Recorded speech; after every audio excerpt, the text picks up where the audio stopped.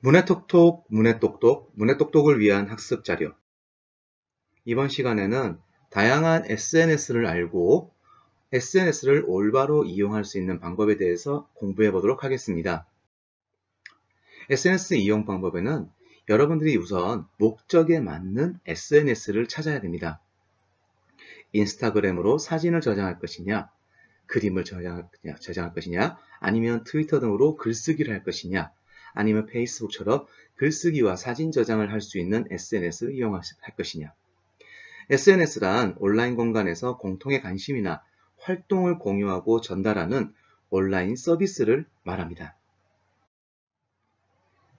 인스타그램 같은 경우에는 내 친구들이 올린 사진 등을 확인할 수 있고 사람들이나 사진들을 검색하고 친구들의 소식을 전하는 알림, 그리고 내 정보나 소식을 확인 및 수정할 수 있는 그런 기능들이 제공됩니다. 페이스북도 마찬가지로 친구 및 자신이 좋아요한 게시물이 올라오고 친구 추천 및 알 수도 있는 사람을 추천 그리고 내가 했던 활동들, 공유한 게시물들 그리고 이런 것들이 태그 등을 이용해서 볼 수 있습니다. 트위터 같은, 같은 경우에는 내가 팔로우한 계정 및 토픽에 트윗이 표시되고요. 특정 기간, 사람 등 맞춤형 검색 결과를 얻을 수 있습니다. 또한 클릭하기 전 상황 또는 내용 파악을 도움할 수 있으며 다양한 주제에 관해 타인과 비공개로 대화를 나눌 수 있습니다. 그럼 여기 보게 되면 여러분들이 SNS로 나만의 광고를 한번 만들어 보겠습니다.